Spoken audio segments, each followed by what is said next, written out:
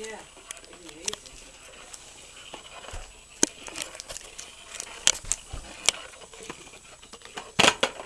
Oh, and that girl, she wanted to come up the stairs, so I just said, you have children at home? And she said, yes. I said, well, you can come up.